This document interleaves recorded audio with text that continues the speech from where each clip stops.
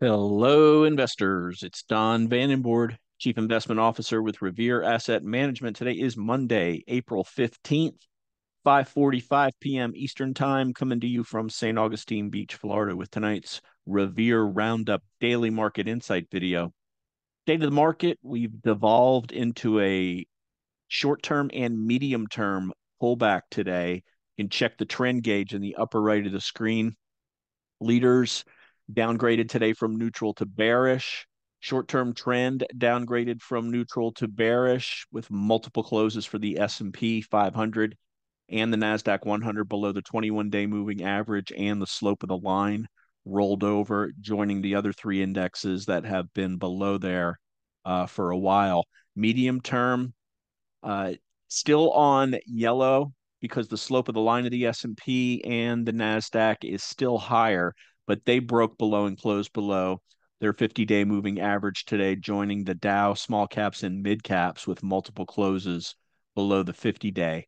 Long term, and the market never gets into serious trouble unless we break below this long-term 200-day moving average on the S&P 500. Long term, all five of the major indexes still above there. That's why we track things across three time frames. Some people are just long term uh, investors and you like i said you can't get into serious trouble. You're going to see more pullbacks uh, and drawdowns in your account but if you're a long-term investor you just obey the 200 day moving average you can uh, stay away from any severe bear market.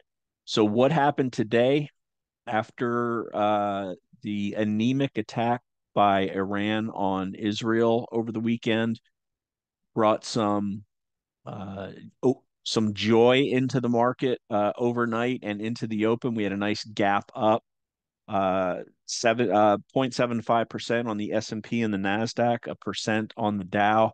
That lasted about 30 minutes. We went sideways and then completely rolled over. So we'll call it a gap and crap. That's a technical term.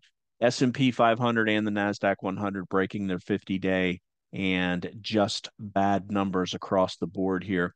Big 7 down 2.1%, RG8 down 1.9%, S&P 500 down 1.2, equal weight S&P a little bit better down 0.86%. Nasdaq 100 down 1.65, equal weight down 1.4, Dow down 0.65, mid caps down 1.1, Russell 2000 small caps down 1.4, Global 6040 down 0.81, in-house protection down 0.74% as uh, some more of our stops were triggered. We'll hit that when we go over the tail of the tape.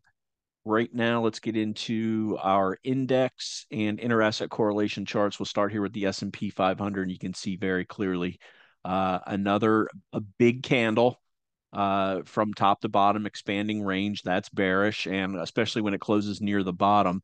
But the gap up today, failed right into the declining 21 day moving average. It's not something you want to see. Uh, with the slope of the line rolled over, there's a chance of that, and that's exactly what happened today.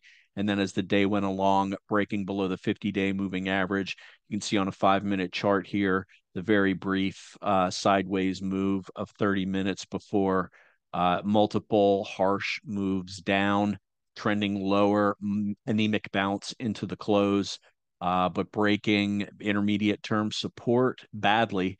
And now into this gap up area where we had in mid February that kicked off the latest leg up, which we've now given most of that back over the past three weeks.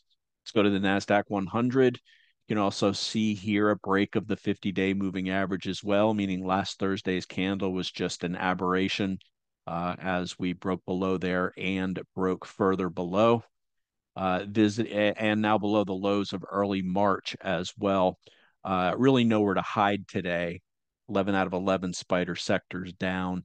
Uh, the Dow breaking breaking the 38,000 level uh, and making new recent lows despite showing relative strength. Goldman Sachs uh, a nice reaction to earnings today, but uh, that that uh, shielded it a bit from a worse overall number. Uh, mid caps not good. Second close below the 50 day moving average. 21 day moving average has rolled over. small caps 21 day rolled over looking to break the 50 day moving average over the next uh, couple of days i'm talking about uh, a moving average cross to the downside and you can see much lower lows breaking below that 200 level which acted as support uh, four weeks ago relative strength making new lows ahead of price uh, as you can see here is never good either let's go to the vix vix up wrongly. Fear continuing to be in the market with the Mideast tensions, spike in yields, uh, and the pullback in the market making uh, higher highs going all the way back to October of last year when the indexes bottomed, late October of last year uh, when the indexes bottomed. Long term average of the VIX is basically right here. It's about 19 and a half. Um, of course, you see massive spikes above there sometimes, and uh, in the good times, it trends below 15 which is when the market normally is uptrending below that 16, 15, 15 or 16 level. Uh, but we're far from that now with an 11 uh, percent jump up today. US dollar uh, making higher highs, very clean breakout now. Uh, still now it's into the resistance from back October when the market uh, put in uh, recent put in the lows and started the correction at the beginning of November or started started the rally at the beginning of November uh, and something also changing. Uh, gold and gold and silver still holding up fine, but gold and uh, but gold and silver stocks not so much. Here's GDX uh, down 0.7% today after a big negative reversal. That didn't stop gold uh, from bouncing at the 10 day moving or the uh, eight day exponential moving average up 2% today, and silver up over 3%. They so they had negative reversals also on Friday, but the metals themselves are bouncing. Let's look at copper uh, to uh, the copper index, CPER. So, you know, if you drop it on your foot and it hurts, uh, it's working. CPER, the copper index, uh, up 2.4%. COPX, this is copper stocks, this uh, stayed positive as well, along with F, uh, FCX. Uh, the thought here is that copper, there's just not enough copper in the world, especially with what's going to be needed to build out all the AI infrastructure. Uh, but so for now, copper's holding up and the metals are holding up, and oil, oil itself is holding up. Here's OILK, uh, a crude ETF, uh, positive, but oil stocks across the board will bring up uh, VDE, which is uh, the ETF that we own uh, pulling back to the 21 day moving average. NRGU, which is our favorite when energy stocks are working, also pulling back, breaking the eight day exponential moving average, but still above the 21. Okay, uh, Bitcoin, uh, not a safe haven by any stretch of the imagination. Two ugly down days by IBIT now, bringing it down to the 50 day moving average. Now on to bonds. Uh, before the open, uh, retail sales were strong. The market was still euphoric with its gap up, but yields started spiking pre market. And that carried over uh, to the regular session. Yield spiking, meaning prices are down. So BND, the broad bond index, making a lower low, down 0.66%. The long bond TLT price making a lower low as well. You know, if the price is making a lower low, you're going to see a higher high on the uh, yield, and that's what we're seeing here on the long bond and on uh, the 10 year. So none of those things are good for individual names. All right, let's get to the tail of the tape. You can pause this. I'll hit the highlights. I mentioned retail sales. We're now on the bear case with the sustained break below the 21 day moving average. Expectations now negative with the slopes of the lines rolling over on the 21. Uh, as far as sectors go, I mentioned gold, silver, also DBA, which is uh, agriculture commodities, had a good day as well. To the downside, all 11 spider sectors led also to the downside by biotech, software, uh, XLK, that's tech, XLY, consumer discretionary, as Tesla announced massive layoffs and broke uh, lower by 5.6% and real estate, you're not going to see real estate doing well if yields continue to rise. So in the portfolio, more stops hit. We st- stopped out on Crowd, IBIT, and Uber. Uh, over 70% on crowd. We bought that on the follow through day on 11 1. So sorry to see that goodbye to the portfolio, but it's living below the 50 day moving average. Uber booked about a 20% gain there. The Nvidia that we added last week, we trimmed half of it with a with a tiny loss, and we hedged our SPXL long uh, with SPXS. That'll work itself out over the next couple of days. Taxable accounts will keep the hedge non-taxable accounts uh, will just cut SPXS and SPXL as there's uh, no reason to hold on to it any longer uh, since you don't have to pay taxes in retirement accounts. So bottom line on the day, gap up fails badly, reverses lower to a trend down day.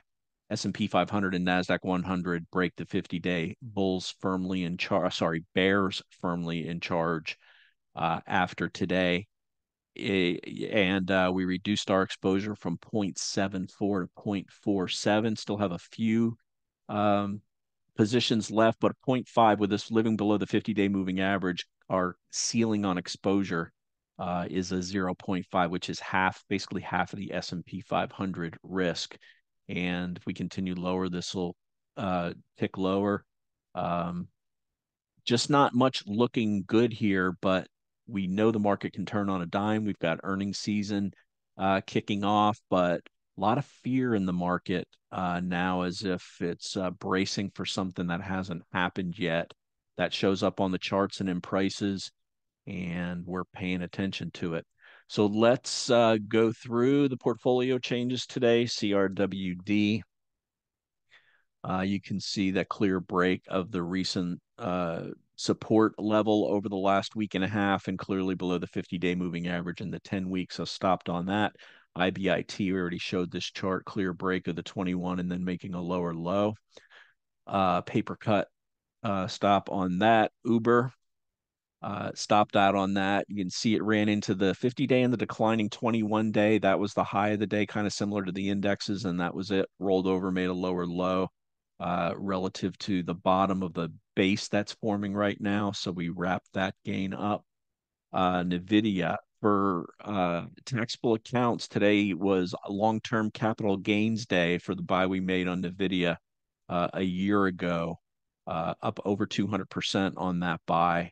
Uh, but that's not shielding NVIDIA right now from the 21 day moving average and the recent buys. All new buys come in, they, they get treated on their own merit. So if they're not working, uh, the stops in place for new buys. We have a last in, first out or highest cost approach to these. So uh, the uh, buys from over uh, a year ago back here in May in the 2 280-ish area uh, sitting on some nice gains and now if for some reason we have to blow that out at least it will be uh, on the the much lower long-term capital gain tax rate. So that's NVIDIA, and I mentioned the hedge. Uh, let's take a look at uh, some things that did hold up today, and there weren't many of them, but CPNG, uh, this is a Korean online retailer, uh, gapped up again, but reversed, still stayed positive, up 1.9%. Something like this just goes on the watch list uh, for when the market rights itself, as it's one of the few breakouts that are that is holding up. Uh, for the most part, any other breakout is just reversing as a failure, and that's just what's going on with the overall market. Dell uh, sitting on the now declining 21 day moving average, but still held on to uh, tiny gains on the day. Uh, FCX, which we sold on Friday with the big negative reversal, sitting right on that 50 level and the eight day moving average, very clearly a leader. And uh, we'll see how the copper complex shakes out. As uh, you know, from when Michael was with us, he did a lot of research on how much copper is needed in the world, and there's just not enough of it. So stocks like FCX and SCCO, which was down a percent today, but uh, these are still uh, some of the best looking charts out there. Uh, that's all that was green on my screen, unless you were uh, a commodity. Here's an here's a, a uh, base metal commodity, PDBC. Uh, also positive on the day. Copper's a part of this, and DBA agricultural uh, ETF uh, commodities up a percent on the day. As I said, oil itself up, but uh, oil stocks not.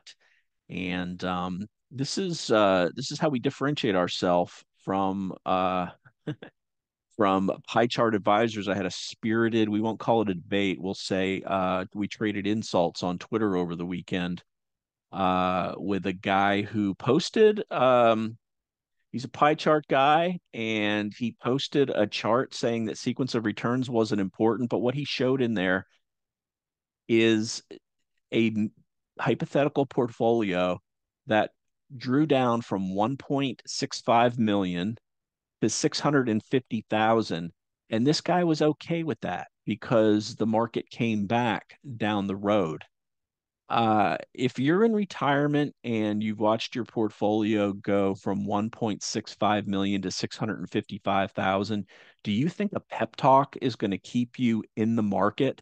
No, you're going to have PTSD because your nest egg was just devastated.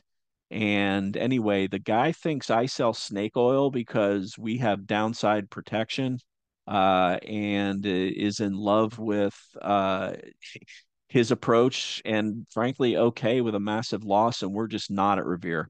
Uh, we've been showing this chart lately how we're different from uh, traditional advisors these uh, seven bullet points and our overall approach and as william o'neill said anybody can get you in who's going to get you out well we're going to get you out at revere we talk about it every night in the videos we talk about how we ride trends higher and we talk about how we get the heck out of the way when they weaken and roll over. And that's exactly what you're seeing on the indexes now. So this is where the protection part of our grotection strategy starts to kick in as uh, you know the market takes us out. We're just following what the market's doing, not our opinion, not uh, the fact that we like a story on something and we better hold on to it, but when the moving averages start to roll over and you start to break them, that's the market telling you something. That coupled with the strength in commodities uh, and rising yields uh, leads us to just getting more defensive. You know, we uh, dodged the 2022 uh, bear market, losing significantly less than the market. At one point, we were down 8%, while the market was down 28%. And um, that we're just following our rules to do it and we proudly talk about it in videos every night and if you're interested in this approach reach out my email is don at revereasset.com my partner's dan stewart dan at revereasset.com the phone is 855 real wealth. That's 855 732 5932 and with that i'll wrap up the video for tax day. Historically this is the low of april is put in uh, and the back half of April is traditionally bullish from a seasonality standpoint. We'll see if that plays out. But for now, uh, things have gotten ugly, and um, we respect that. And that's going to wrap it. Thanks for listening and have a great day. Remember, it's not how much you make in the markets, it's how much of that you can keep. Take care, everybody.